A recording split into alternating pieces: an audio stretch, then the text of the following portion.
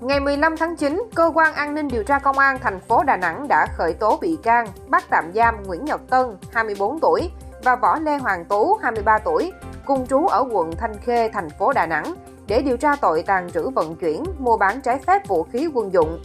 Theo điều tra vào tháng 9 năm 2022, Tân được bạn là Lê Văn Sang tặng cho một khẩu súng để làm kỷ niệm. Tân sợ người nhà biết nên đem súng đến gửi ở nhà bạn là Tú. Sau đó, thông qua mạng xã hội, Tân đặt mua thêm 5 khẩu súng khác cùng một số phụ kiện, đạn các loại để sưu tầm. Ngày 17 tháng 8 năm 2023, sợ gia đình phát hiện số súng đạn trong lúc đi chơi xa, nên Tân đem tất cả sang nhà Tú để nhờ cất giùm. Đến ngày 27 tháng 8 năm 2023, sau khi được triệu tập làm việc về vụ việc gây rối trật tự công cộng, Tân tự thú và cùng lực lượng chức năng đến nhà Tú để giao nộp các khẩu súng, phụ kiện và đạn nói trên.